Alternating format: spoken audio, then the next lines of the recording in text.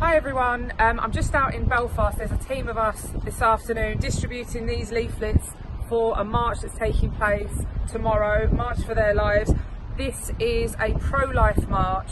It's against legislation that's going to be forced through here in Northern Ireland to legalise abortion and um, as we know legislation legalising abortion on the mainland has cost the lives of almost 9 million babies. That's 9 million humans gone.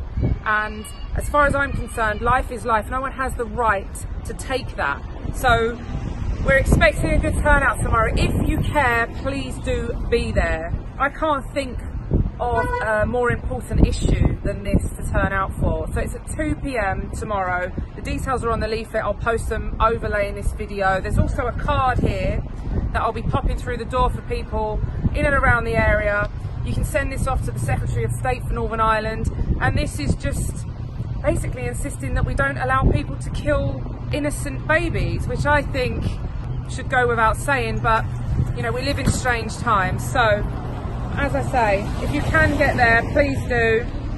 Custom House Square, Belfast. I'll be there. There'll be hopefully big numbers and please do show your support for the unborn.